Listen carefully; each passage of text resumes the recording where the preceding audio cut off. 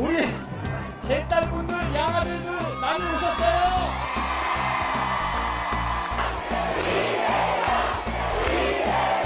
아니 아빠 이름 이렇게 막 불러도 돼요?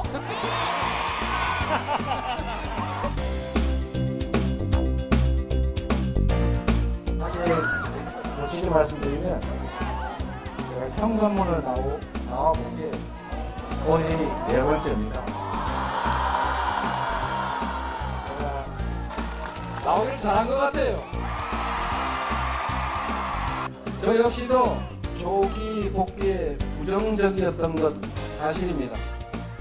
그러나 당이 처한 어려움과 지금 이 위태로운 지방선거 상황을 도저히 외면할 수 없었습니다.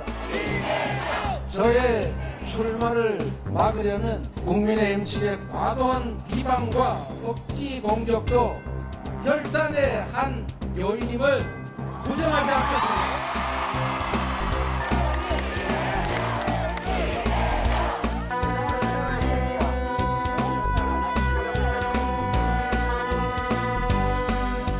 경기 성남 분당갑 국회의원 보궐선거 출마를 엄숙히 선서합니다.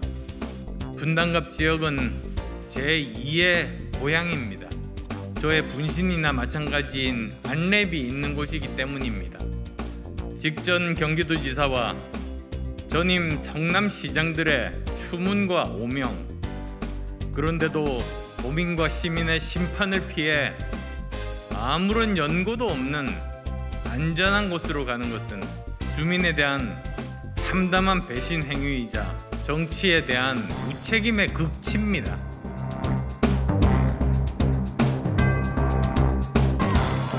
인천 시민 여러분 기억하실 겁니다.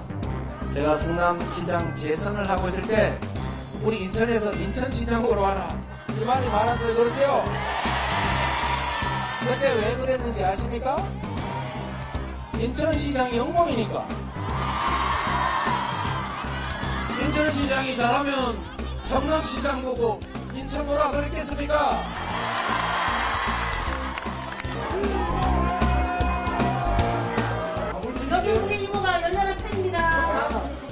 방금 뛰어가고 지금.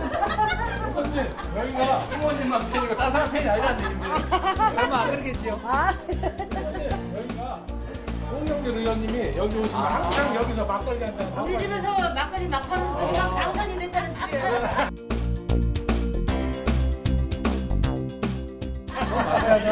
그러게요. 여기 한잔 마지막에 막걸리 한잔.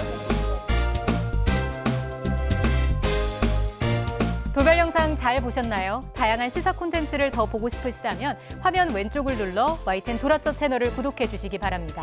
돌발 영상 화제작은 물론 친절한 뉴스쇼 뉴스가 있는 저녁을 함께 보실 수 있습니다. YTN 도라쩌 구독, 좋아요 기억해 주세요.